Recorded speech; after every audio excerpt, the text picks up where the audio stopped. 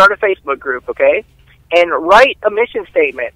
You know, I'm interested in filming the police to keep them accountable, but I want to do it in a non, you know, something. Paraphrase me, but Mhm. I want to do it in a non-confrontational way, Mhm. and uh, I like the idea of civic engagement and. Uh, you know, if you're interested in participating or uh, going out on patrol with me, you know, contact me at this email address. Just a, a, a brief little paragraph explaining, you know, that you're not you're not going to interfere with the police and um, you're interested that your slant, your your mission statement is to hold police accountable, but to do it in a non-confrontational way, and people will re- re- will respond to that. You know, so start a Facebook group, even if they're even if no one's going to be on the group except Mm. you in the beginning. It doesn't matter. Just write that little mission statement. That's what Carrie and I did. Um, I will send you a link to it so you can check it out. Mm. Uh, you can embed under this when you share this on the interweb. You Mhm. can look at my mission statement, and you know, uh, if you like it, you know, paraphrase it. But that that's basically uh, what you have to do. And to starting out, you just need to hang out until you get that one guy that's going to do it or that one girl that's going to do it with you. Because I really don't recommend doing too much of it alone. You know, not when you're first starting because you're not so confident in it. And Mm. police will, you know, there's a lot of stuff that police can do that seems not right, but that's just the way the law rolls. Mm. You know, when when they're interacting with you, like for instance, I, I'll give a quick example. Okay, so let's say hypothetically that I'm cop watching in California. Now I'm from Oregon, but I know California's laws a little uh, uh, pretty well. I know Oregon's laws pretty well. Now, silence is consent, legally speaking. Now I'll say that again.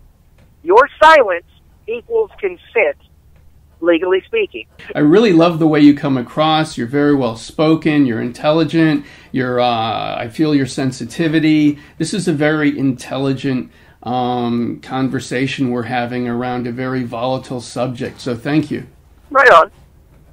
Yeah, well, I think it's important that we retain our humanity when we're uh, staring into the face of the opposite of it. You know, that's you know, the. I, I think things like compassion, uh, sensitivity, uh, being able to not allow your ego to make you come off as aggressive is a is a, a powerful tool. You know, Mhm. it, it's it's important. Hmm. So here's the thing: if cops are in in most states, the U.S. Constitution has been defined as uh, cops having the legal right to pat you down for weapons for their safety. So that means they can run their hands along the outside of your clothes and around your waistband to make sure that there's no bulges there where you could be holding, you know, a holstered gun or a knife, right? That's that's been upheld by many appellate court decisions or the state court, court decisions saying that police have a constitutional right to, you know, have a work environment where they're safe. You know, that, that the potential for them to die is diminished. And that's reasonable. I think that's reasonable. If I'm a stranger and I'm walking up on a cop scene or if they pull me over or whatever, you know, or, uh, and, and I have to get out of the car, there's certain situations where you're, you can be legally ordered to get out. Or if I'm just walking down the street and, and the cops, you know, are questioning me, but they're not putting handcuffs on me, and they're standing right beside me, it only takes a couple seconds to pull a knife out and stab someone you know, Mhm. and then, you know, the cop's dead. You know, so I think it's perfectly reasonable for their them to interpret the law in a manner that says that they can pat you down for weapons. Sure. So that's the same in California and where uh, I- where you're at, and in Oregon where I'm at. Mhm. Now, here's the trick: if you do not say to the officer, "I do not consent to a search," of my person or my property. You don't have to say it uh, in those exact words, but you Mm. do have to state that I do not consent. You know, Mhm. so if you don't uh, say you don't consent, Mhm. when they're patting you down for weapons, they can stick their hand in your pocket, Mm. and if they pull out something that happens to be illegal, right? Okay. You can be. They can use that as evidence.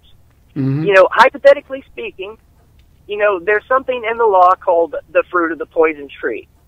Now, that, uh, long story short, what this means, uh, what uh, fruit of the poison tree is, is that if police gather information or evidence of a crime in an illegal manner, your lawyer is going to more than likely move to suppress that evidence, meaning the jury won't ever be allowed to know that that was in your pocket. Mm-hmm. But if you just silently stand there and the cop goes through your pockets and pulls out, you know, uh, hypothetically any anything, you know, there's all sorts of things that can land you in jail for, you know, a couple of years that seem innocuous. Like Hmm. if you have a pill bottle that's got someone else's name on it, you know, say you were, you know, throwing out the trash for your grandmother and you have like, you know, a, a bag of garbage in the back seat and the the garbage bag has pill bottles with with her prescription on it, Hmm. you can go to jail for a felony. Wow. You know? Yeah.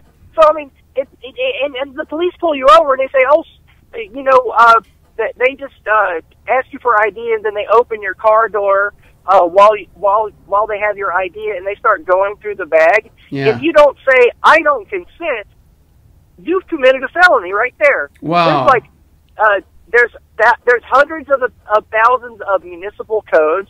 There's hundreds of thousands of federal laws. There's tens of thousands.